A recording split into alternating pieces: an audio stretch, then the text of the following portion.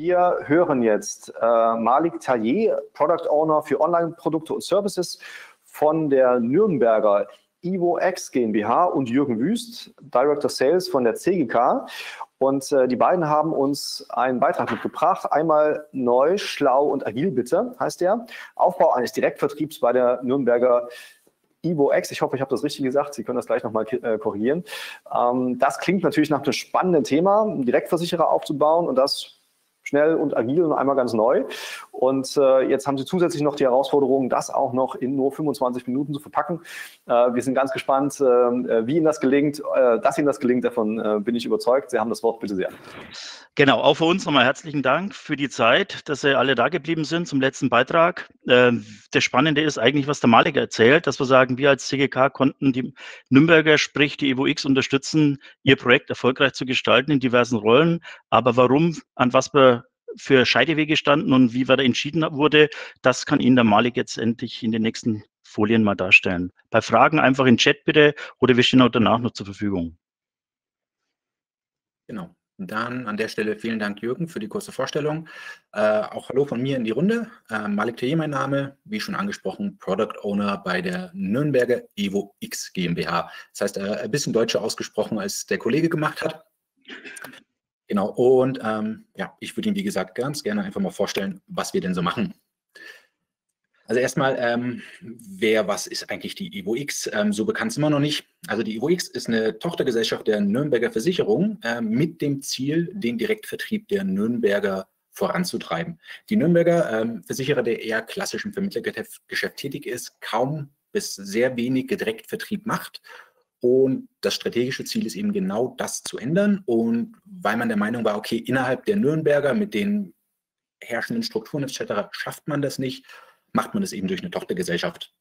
Äh, die Kollegen von der CGK äh, haben das Ganze dann eben technisch, IT-technisch unterstützt, denn ähm, was man hier eben machen wollte oder macht, ist eben nicht nur den Direktvertrieb aufbauen, sondern äh, tatsächlich aus meiner Sicht ähm, in, in gründen, dass die auch eine komplett neue parallele IT dazu aufbaut. Ob man das jetzt so bewusst gemacht hat oder nicht, äh, sei mal dahingestellt. Aber im Rahmen dessen haben wir eben sehr, sehr viel Technik gemacht. Das heißt, was die IvoX macht, ist im Kern Produkte aus dem Bereich Einkommenssicherung vertreiben und gemeinsam mit der Nürnberger entwickeln. Ähm, gemeinsam mit der Nürnberger, weil die IvoX eben kein eigener Versicherer ist, sondern tatsächlich eigentlich nur eine Vertriebsgesellschaft. Ich glaube, ein Generalagent von der Unternehmensstruktur selbst. Das heißt, alles, was wir an Produkten vertreiben, vertreiben wir unter der Marke Nürnberger, sind Produkte der Nürnberger, die von der Nürnberger entwickelt werden. Äh, vertriebstechnisch liegt der Fokus auf dem Online-Vertrieb, äh, das heißt klassisches Performance-Marketing, klassische Online-Antragsstrecken, unterstützt dich durch In- und Outbound Telefonie, ähm, damit wir eben Kunden, die eben vielleicht doch mal mit Menschen sprechen wollen, Rückfragen haben, Sachen, die ein bisschen komplizierter sind, die eben dabei unterstützen können. Ähm, was aus meiner Sicht äh, fachlich der große Mehrwert ist, dass wir tatsächlich versuchen, nicht nur versuchen, sondern ähm, praktisch die, die manuellen Prozesse absolut zu minimieren. Das heißt, bei uns äh, ist die komplette Risikoprüfung für alle Produkte im Lebensversicherungsbereich komplett automatisiert. Der Kunde kriegt online immer eine sofortige Aussage, ist er versicherbar, ist er nicht, muss er Aufschläge zahlen, wie hoch etc. Und die gesamte Kommunikation zum Kunden selbst ist 100% papierlos. Ähm, die EvoX selbst verschickt nie einen Brief an den Kunden. Ähm, alles läuft bei uns über unser Kundenportal oder über E-Mail oder über andere Kanäle. Und das Spannende ist, als man das aufgebaut hat, ähm, war eben, dass man sich bewusst dafür entschieden hat, das nicht innerhalb der IT-Infrastruktur der Nürnberger zu machen, sondern zu sagen, okay, die Nürnberger hat gerade intern genug andere Projekte, die die IT binden. Dazu gehört ähm, mehrere neue Bestandsführungssysteme, also genereller Refresh der gesamten Infrastruktur. Und was man mit der EvoX machen wollte, ähm, war parallel dazu von der IT nicht zu stemmen. Und aus dem Grund hat man gesagt, okay, man führt ein neues Bestandssystem ein, ähm, was sehr, sehr leichtgewichtig ist. Das Ganze nennt sich Liveware von der Firma SquareLife. Und davor schaltet man für die ganzen verschiedenen Vertriebskanäle, die man aufbauen will, einfach wirklich neue Software, eigenentwickelte Software, komplett losgelöst von dem, was der Nürnberger heute schon hatte. Äh, alles cloud-basiert ähm, äh, in der Azure Cloud, ähm, Middleware mit Java geschrieben, das Ganze sind Angular Frontends, ähm, das Ganze technisch ich würde jetzt mal fast sagen, State of the Art. Das heißt, wir haben komplett automatisiertes CI-CD, komplett automatisierte Tests. Ähm, das alles ist im Grunde genau das, was man so, ähm, sagen wir so 2020 gerne an Software hätte. Das heißt, auf der Ebene ist man relativ gut. Das ist aber eigentlich gar nicht das, was ich heute so groß erzählen möchte, sondern mein Fokus liegt eigentlich darauf, ähm, was noch nicht ganz so gut ist und ähm, wo tatsächlich die Probleme beim Aufbau des Ganzen stattgefunden haben.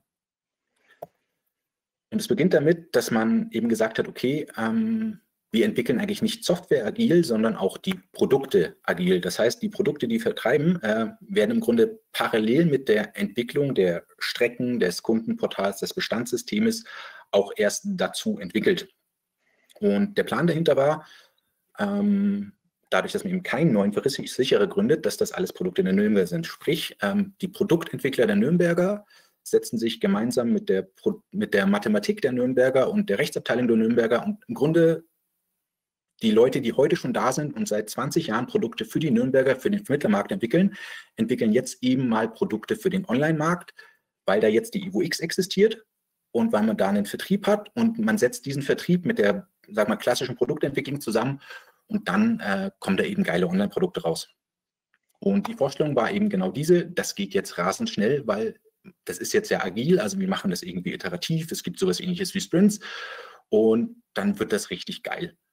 Und ähm, was sich dann herausgestellt hat, ist, ähm, dass das in der Realität gar nicht so schnell ging, wie man sich das erhofft hat, aus dem einfachen Grund, dass ähm, wenn man die gleichen Leute hat, die im Grunde das machen, was sie schon immer machen, ändert das einfach am Ergebnis nichts. Das heißt, ähm, die Produktentwicklung selbst, die Entwicklung des Versicherungsproduktes ähm, ist bei weitem nicht so schnell wie das, was wir in der IT tatsächlich vorlegen können und wollen. Und später ein paar Worte dazu, ähm, wie wir das tatsächlich aufgebrochen haben, weil ähm, jetzt seit zwei Jahren macht man das Ganze und mittlerweile sind, sind wir da um einiges schneller, als wir es zu Beginn waren. Äh, generell ein anderes, was heißt ein anderes Problem, ein anderer Punkt, den ich ansprechen möchte, ähm, die Art und Weise, wie Entscheidungen getroffen werden. Also die Vorstellung hier ähm, war im Grunde die, man hat jetzt ein Team, das sich zusammensetzt aus verschiedensten Bereichen, die jetzt eben diese Produkte agil entwickeln sollen. Und im Rahmen von so einer Produktentwicklung sind natürlich Entscheidungen zu treffen, wie genau sieht das Produkt aus, haben wir verschiedene Module, welche Leistungen sind genau drin, welche Leistungsauslöser, also alles, was man in Produktentwicklung eben macht. Problem an der Stelle, ähm, dass die Leute, die genau das tun, ähm, dummerweise in den letzten Jahrzehnten nie gelernt haben, wie man Entscheidungen trifft oder dass sie Entscheidungen treffen dürfen. Das heißt, die Erwartungshaltung seitens Managements war, dieses Team, das man da zusammengewürfelt hat, setzt sich hin und entwickelt halt in drei Monaten das komplett fertige Produkt mit allem, was dazugehört und alle Entscheidungen, die auf dem Weg zu treffen sind, trifft dieses Team.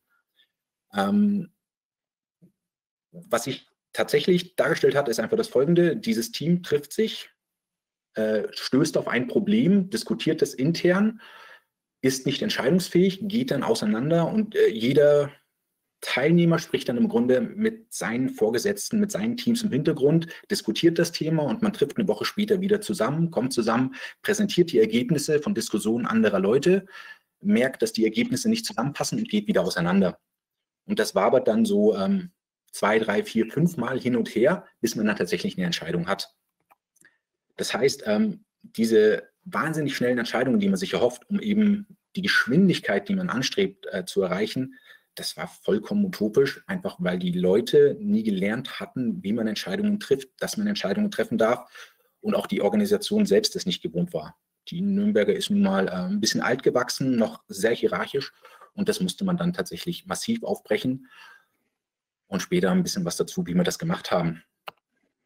Anderes Problem, äh, die Kollegen äh, Richter und Aschef hatten es angesprochen, Priorisierung. Aus meiner Sicht ein elementarer Teil von agiler Softwareentwicklung, aber auch generell agiler Entwicklung, gar nicht auf das beschrieben. Ähm, man muss halt irgendwann priorisieren. Das heißt, äh, auch hier haben wir immer gestartet mit dem Plan von dem hier sinnbildlichen großen Blumenstrauß, wo halt alles drin ist. Das Nonplusultra-Produkt mit 100.000 Varianten und ein Kundenportal, das alles kann und alles komplett digitalisiert und alles automatisiert. Ähm, die Erwartungshaltung war dann natürlich, dass man genau diesen Plan, den man irgendwie im stillen Kämmerchen gemacht hat, dann tatsächlich auch innerhalb von drei Monaten umsetzen kann. Ähm, Ergebnis war äh, leider nicht so wie hier angesteuert, genau das, sondern was wir dann eben gemacht haben, ähm, ist mit dem Kollegen mal darüber zu sprechen, ähm, was denn eigentlich Priorisierung heißt und was Agilität bedeutet. Und dass Priorisierung in einem agilen Kontext nicht heißt, ähm, was machen wir und was machen wir nicht, sondern was machen wir zuerst und was machen wir gegebenenfalls danach. Und ähm, sollten neue Themen hinzukommen, kann es dann durchaus sein, dass mal Sachen runterfallen, die man dann vielleicht nicht umsetzt. Ähm, das ist dann aber tatsächlich einfach so, wie ich mir Priorisierung vorstelle.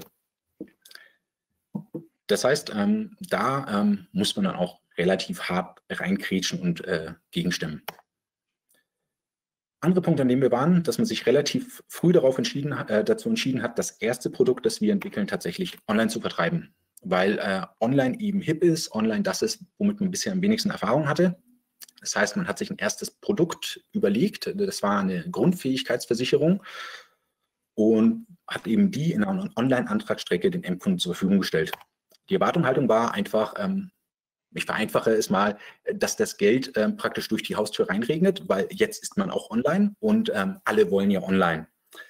Ähm, Realität an der Stelle war, ähm, dass das nicht ganz so einfach ist, denn ähm, online verkauft sich das gut, was Leute kennen, was Leute verstehen und Grundfähigkeitsversicherungen sind jetzt nicht so das gängigste Versicherungsprodukt auf dem Markt. Das heißt, ähm, hier muss man relativ schnell merken, äh, dass das Produkt selbst ähm, an sich gut ist, aber der Vertriebsarm, mit dem man begonnen hat, vielleicht nicht die richtige Wahl war, sondern man hier vielleicht mit einem stärkeren Fokus auf eine Telefonie, auf eine Beratung am Telefon sehr viel mehr Erfolg gehabt hätte.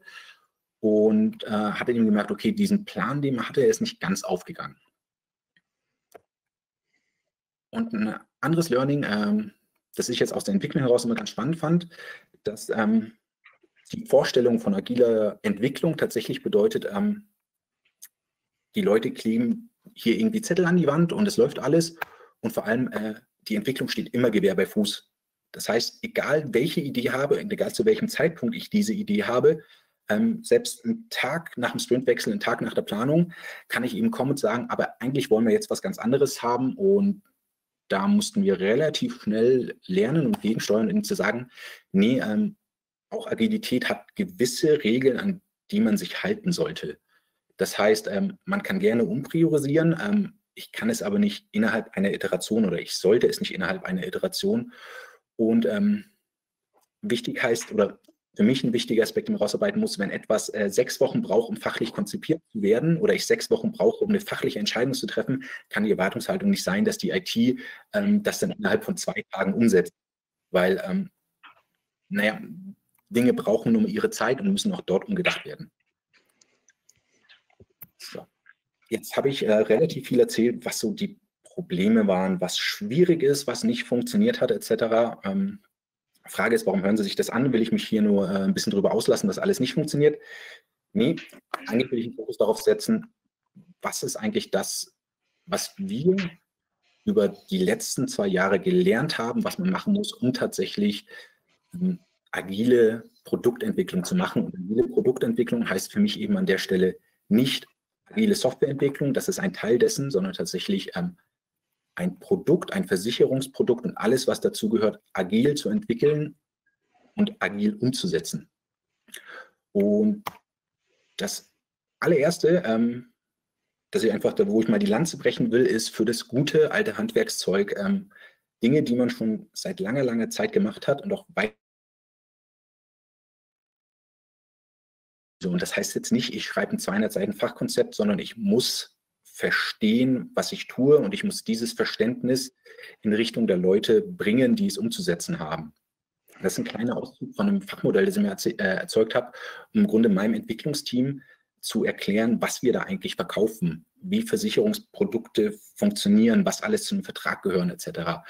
Und ähm, ich habe das gemacht bei dem zweiten Produkt, das wir entwickelt haben. Beim ersten bin ich erst dazugekommen, ähm, da war das Schiff im Grunde schon abgefahren. Das war so eine Woche vorm Go Live, habe ich das Unternehmen äh, betreten. Ähm, habe mir dann zwei Monate angehört, wie das bisher gelaufen ist. Und als dann das, die Entwicklung des zweiten Produktes losgegangen ist, habe ich im Grunde damit begonnen. Und ähm, das interessante Feedback war, das ist sehr, sehr spannend. Das hätten wir uns damals auch gewünscht. Und auf meine Frage, was denn damals die Vorbereitung war fürs erste Produkt, war, ja, im Grunde hat man gestartet und wusste noch gar nicht, was man verkaufen will. Und O-Ton, was man ihnen gesagt hat vor der ersten Iteration, also wir wissen noch nicht, welches Produkt es wird, aber es gibt ganz bestimmt irgendwie Personendaten, also fangt mal an und baut eine Seite, wo ich Personendaten eingeben kann. Und das Ganze sollte dann im Ergebnis ein eine skalierbare technische Plattform sein, die ich beliebig erweitern kann. Und das funktioniert halt aus meiner Erfahrung nicht, wenn ich einfach irgendwo starte, ohne zu wissen, was das große Ganze ist. Das ist ihr einfach die Lanze dafür. Die Dinge, die man in der Softwareentwicklung früher gemacht hat, nehmen eine saubere Analyse, gut durchdenken, ein Fachmodell, einen Plan haben, eine grobe Architektur haben, sind Sachen, die man auch heute noch machen kann. Was man auf der Fachseite machen kann, ist aus meiner Sicht ähm, diesen Gedanken von Cross-Functional Teams, das, was ähm, gerade Scrum immer so nach oben hält oder Agile im Allgemeinen nach oben hält. Wenn ich ein Team habe, das etwas macht, muss dieses Team mit allen Leuten besetzt sein, die tatsächlich ähm, notwendig sind, um dieses Produkt zu entwickeln. Eine Produktentwicklung selbst hat das dazu geführt, dass wir tatsächlich ähm, aus jedem Bereich der Nürnberger oder aus fast allen Bereichen der Nürnberger einen Vertreter als Teil des Produktentwicklungsteams hatten. Das heißt, wir hatten die Produktentwicklung, die Mathematik, Recht, Vertrieb, Underwriting, Schlag mich tot, einmal notwendig ist als festes, festen Teambestandteil, um dieses Produkt zu entwickeln. Und man hat diesem Team tatsächlich dann ähm, auch im zweiten Produkt explizit die Entscheidungshoheit gegeben in einem gewissen Rahmen und gesagt hat, okay, alle Entscheidungen, die unterhalb sag mal, dieses Härtegrades liegen, kann und muss das Team eigenverantwortlich treffen. Ähm, es ist keine Rücksprache mit irgendeinem Lenkungsausschuss oder sonst was notwendig. Dieses Team darf diese Entscheidungen treffen und man lebt mit dem Ergebnis. Und aus meiner Sicht ist das tatsächlich das, was uns am meisten Geschwindigkeit gebracht hat, weil wir eben nicht mehr diesen Jojo-Effekt hatten, dass alle beteiligten Leute ähm, immer nur ständig weggelaufen sind, um mit anderen Leuten zu reden und uns dann die Meinung anderer Leute zu bringen. Und ähm, was ich persönlich am wichtigsten finde, äh, ist tatsächlich die Chance zu nutzen, die Agilität bringt, nämlich aus den Dingen, die man macht, Lehren zu ziehen. Ich hatte es vorhin erzählt, ähm, das erste Produkt hat sich nicht ganz so verkauft, wie man, wie man möchte. Ähm, was man aber gelernt hat aus dem Ganzen, ist eben, okay, wie entwickle ich eigentlich agil ein Versicherungsprodukt? Was man daraus gelernt hat, ist, ähm, wie funktioniert denn Online-Vertrieb tatsächlich? Was muss ich an der Stelle machen, damit das Ganze funktioniert? Ähm, man hat gelernt, wie vertreibe ich ein Produkt online tatsächlich richtig? Was muss ich dort machen? Und ähm, man hat gelernt, dass reiner Online-Vertrieb ähm, bei gerade Lebensversicherungsprodukten gar nicht so trivial ist, wie man sich das vorstellt. Und all diese Lernen hat man dann in das zweite Produkt. Ganz kurzer Hinweis, Sie haben noch äh, zehn Minuten, ja? Ich weiß Bescheid. Okay, alles klar. Wunderbar. Dankeschön.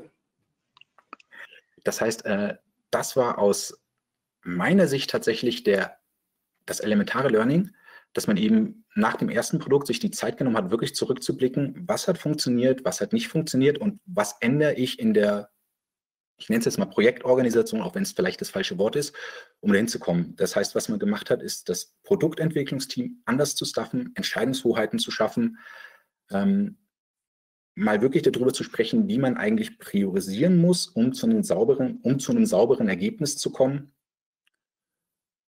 Und diese Dinge haben tatsächlich dabei geholfen, am Ende ähm, tatsächlich eine agile Produktentwicklung parallel zu der Umsetzung von allem, was ich vorhin beschrieben habe, hinzukriegen.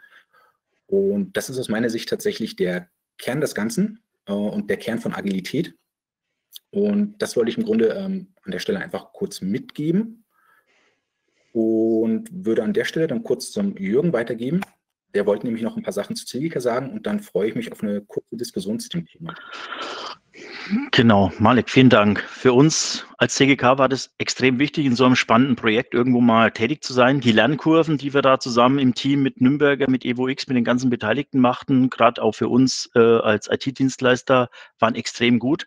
Ich glaube, so oft bekommt man nicht die Möglichkeit, von, von Scratch auf solche Sachen zu, äh, umzusetzen, äh, die Zeit zu bekommen, die Freiheiten zu bekommen. Das haben wir gemacht. Wir als CGK, Sie sehen ein paar Folien von uns sozusagen, das ist, sind wir als, als Firma. Ähm, Malik, kannst du nochmal klicken, bitte? Natürlich. Danke. Wenn es geht. Bitte nochmal. Und wir eben konnten als, als Partner äh, mit äh, entsprechendem Versicherungs-Know-how Malik, wenn du einfach nochmal klicken würdest, ich habe nicht die, die Hoheit über den, den, den Schirm, äh, konnten wir eigentlich unsere Expertise damit ins, ins, als Partner ins, ins Spiel bringen äh, und konnten einfach die, die Ideen, die da äh, sind, mit umsetzen, konnten unseren Beitrag dazu mit leisten, in der Art und Weise, die jetzt hier ist. Aber man muss sagen, das Team war das Entscheidende, die Zusammenspiel zwischen den ganzen Parteien, das hat sich auch im Endeffekt, ist das richtig zusammengewachsen Und durch diesen Team Spirit, der da entstanden ist von allen Beteiligten, muss man sagen, ist auch diese extreme Performance-Steigerung, für die der Male gesprochen haben, durch die Skalierung nach oben entstanden. Aber wenn man jetzt sieht, wie, wie schnell man ist, wie professionell man hier die, die Sachen umsetzt, die vorgegeben werden im Team, weil halt jeder seinen, seinen Weg und seinen, seinen Platz gefunden hat, muss man sagen, ist das eigentlich eine sehr, sehr spannende Geschichte und die sicherlich noch nicht zu Ende ist das waren eigentlich so die, die Punkte von uns, einfach mal zum, zum Thema Insurance, CGK und Nürnberg. Aber entscheidend ist der Malik als Hauptakteur hier. Ich denke, wir, wir werden für Fragen offen, wenn Sie welche haben. Ähm, Herr Taillier, Herr Wüst, vielen Dank ähm, für den Beitrag ähm, und für die, äh, ja, für die Möglichkeit, dass wir uns vertraut machen könnten mit, mit dem Aufbau des Direktversicherers äh, und den Erfahrungen, die Sie äh, hier gesammelt haben. Genau. Wie ist denn das? Äh, also Sie haben ja jetzt, also es ging jetzt vor allem um das Thema jetzt, wie, wie äh, entkoppeln Sie sich sozusagen von der, äh, von der Mutter? Ne? Wie kann man jetzt eben durch das Befreien von alten Strukturen eben auch Neues ermöglichen? Gibt es denn auch so einen, so einen Rückstrahleffekt in die, in die Nürnberger hinein, dass man jetzt irgendwie sich das anguckt, was Sie da tun und versucht da vielleicht auch ein bisschen was sich hm, abzugucken und vielleicht dann auch in, in einem großen Haus zu verwenden? Ähm, die Ansätze gibt es durchaus, aber das ist tatsächlich ähm, für mich gar nicht so der Fokus. Also anders als die Kollegen äh, Richter und Aschoff, die tatsächlich das Ziel hatten, dieses agile Arbeiten in Nürnberg zu tragen, ist tatsächlich das Ziel, das wir haben. Ein bisschen simpler. Wir sollen erstmal Geschäft machen und wenn das Ganze funktioniert, gehe ich davon aus, dass genau das abstrahlen wird. Ich meine, was wir haben, ist eben einfach den, sag mal so, den klassischen Fachbereichen ein bisschen zu zeigen, wie agiles Arbeiten funktionieren würde, welche Vorteile man das Ganze hat. Und das hat hundertprozentig Auswirkungen darauf, wie die arbeiten.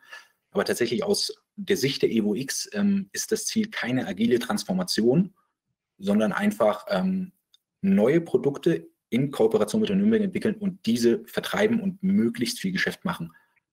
Dementsprechend ist das im Moment nicht der Fokus, aber ich gehe ganz schwer davon aus, dass es in zwei, drei Jahren anders sein wird, vorausgesetzt, das, was wir haben, hat dann den gewünschten Erfolg. Okay, prima. Vielen Dank.